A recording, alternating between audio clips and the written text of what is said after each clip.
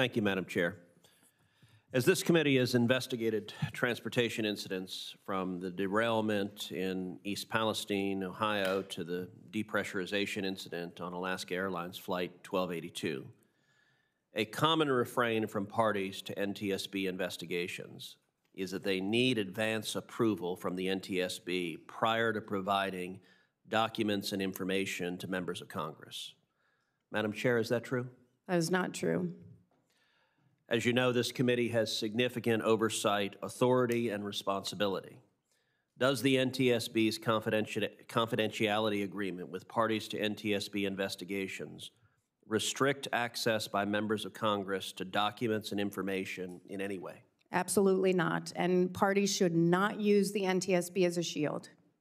Thank you for clarifying. I, I, agree, but that, that is important to have that on the record, so I appreciate it. Absolutely. You have a right to that information and should get that information. Thank you. Uh, turning specifically to Alaska Airlines Flight 1282, uh, I am deeply concerned about potential safety issues with the Boeing 737 MAX 9. It is essential that the NTSB's investigation get to the bottom of this and, and identify any safety issues and potential solutions. To that end, it is equally important that the parties to the investigation cooperate fully with the NTSB, with Congress, and others investigating the incident.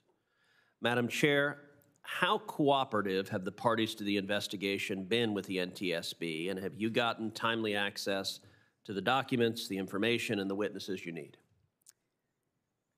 The, there are a number of parties to the investigation. Some parties have been very cooperative. For example, the Federal Aviation Administration.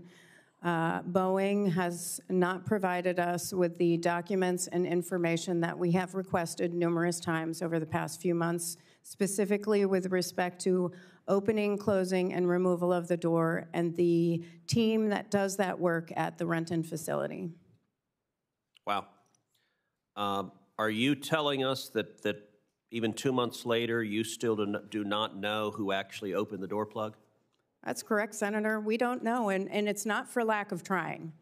Uh, it's not unusual that we don't get information in, immediately in an investigation. I can point to uh, numerous investigations where this occurs, and it takes months and months to get information. Uh, but for this one, it's two months later. We know for a fact that there is a team that deals with the doors in Renton. There's an entire team of 25 people and a manager.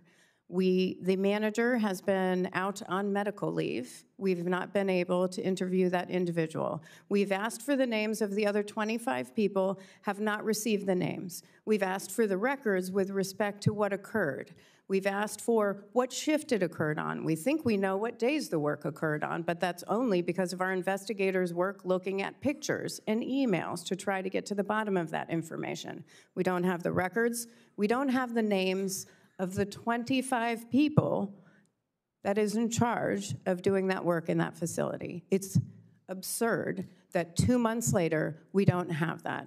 Our investigators right now are at the Renton facility and they are conducting interviews. Uh, from uh, it started those started on Sunday and they will continue for the rest of the week.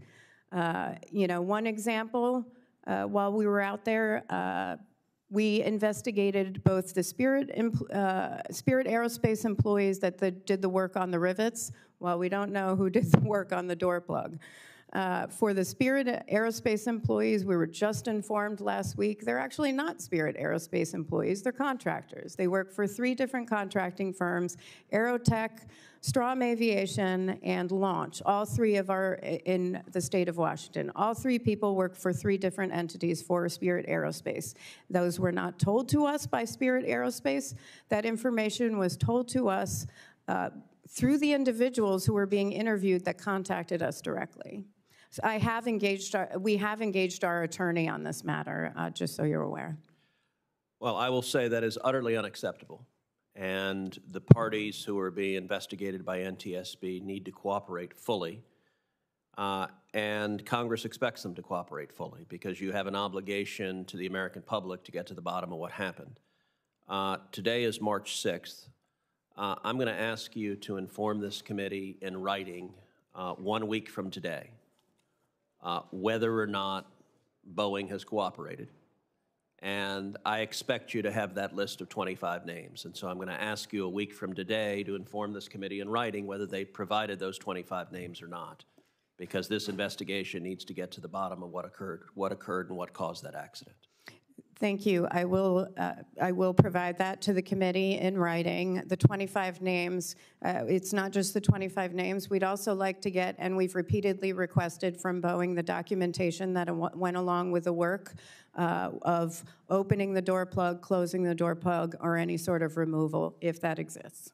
So please include that information as well when, when you respond in writing a week, week from today to let us know the level of cooperation you're seeing. Thank you. Thank you, Madam Chair.